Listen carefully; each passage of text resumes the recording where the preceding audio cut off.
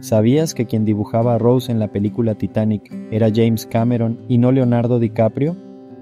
Lo interesante es que James es zurdo, lo que significaba que la imagen que estaba dibujando tenía que ser reflejada en la pantalla, ya que DiCaprio es diestro.